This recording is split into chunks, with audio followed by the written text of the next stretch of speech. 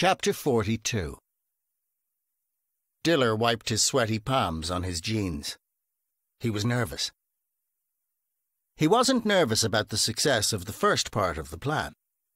As he'd left Clowntown, there had been a line of people at the car rental place.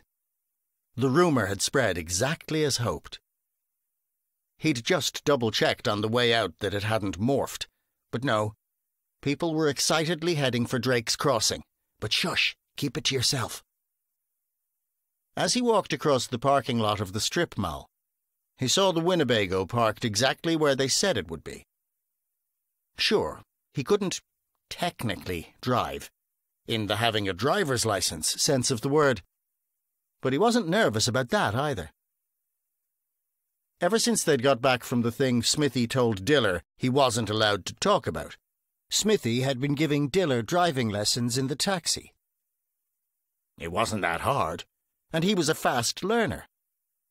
All right, he'd never driven something the size of a Winnebago, but the principle was the same. And once he got out of the parking lot, it was a reasonably straight shot to where they were going. Getting arrested for driving without a license would suck but compared to what came after this point, that possibility was really small potatoes.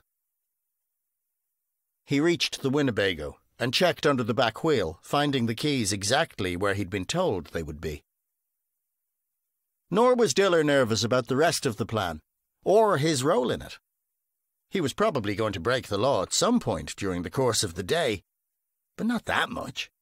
At least, not compared to what everyone else was doing. Besides, Diller was an incurable optimist. He was pretty sure that everything would work out fine. So, no, he wasn't nervous about that either. He looked at the front door of the cab of the Winnebago and took a deep breath. He wasn't nervous. He was absolutely terrified. He opened the door and climbed into the driver's seat.